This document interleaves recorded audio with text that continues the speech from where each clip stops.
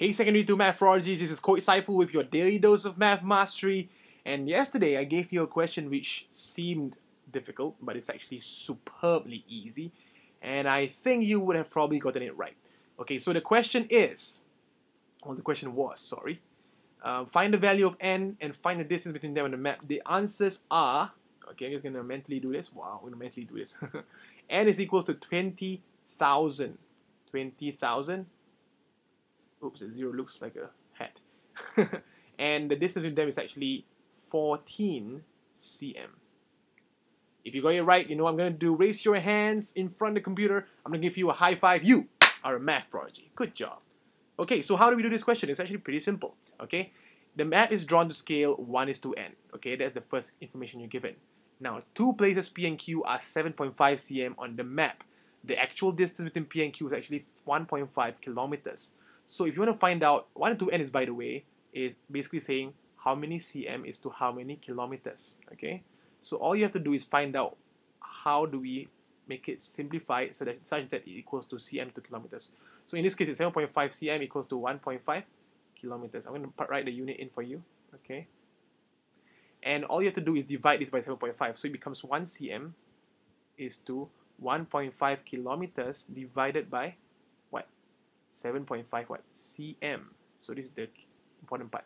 So um, 1 cm is equals to uh, sorry this is cm on the map just realize cm on top here in on the map is cm here on the real world in the real world. So 1.5 kilometers is actually equals to 1000 how many? 500 meters over 7.5 cm slowly do it step by step huh? don't rush it okay and then after that you find out that 1 cm is actually equals to 1500 and another two more zeros for cm because 100 cm equals to 1 meter.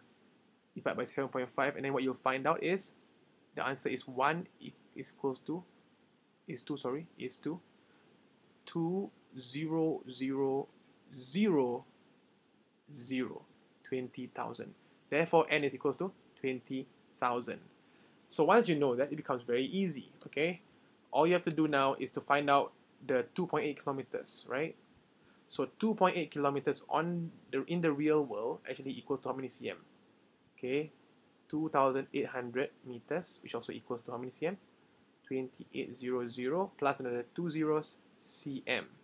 Now all you have to do is divide this on the map. Therefore, on the map, okay, I'll write on the map. Since one equals to 20,000 cm,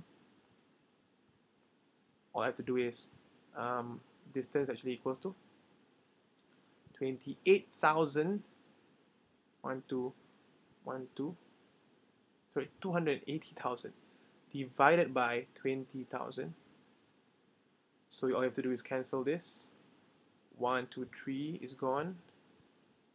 Sorry 1 2 3 4 is gone 1 2 3 4 is gone 1 2 3 4 is gone 28 divided by 2 gives you 14 cm and that is the final answer.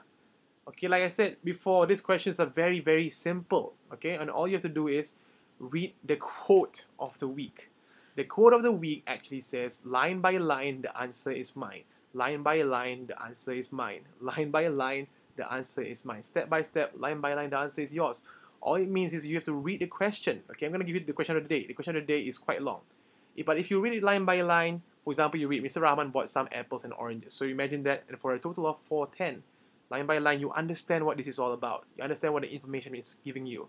Okay? And then when you do your working, make sure you do it step by step. Don't ever skip steps. When you skip steps, as in life, when you skip steps, there are gonna be problems. You know, when you skip steps, there is a there is a bigger chance that you're gonna make a mistake. If you if rather than you don't don't skip steps. So that's what I recommend to you do it line by line, and the answer will be yours. Remember that. With that, this is Coach Saiful signing off. You are a math prodigy. Good job.